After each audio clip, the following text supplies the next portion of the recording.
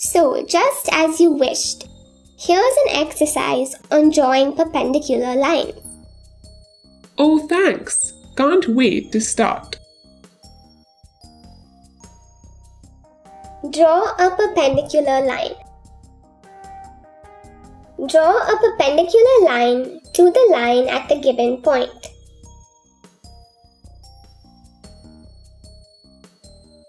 Step 1. Place a ruler along the given line.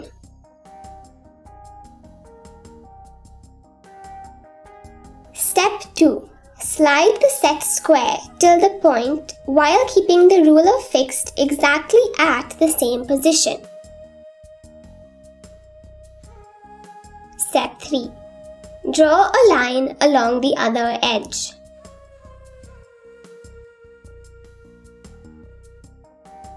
The line drawn is perpendicular to the given line. Excellent!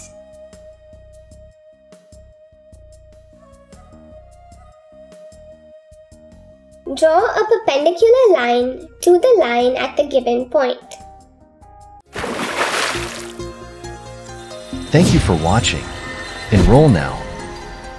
To access all 184 videos totaling 16 hours and 38 minutes, featuring introductions, examples, and exercises for grade 4 math.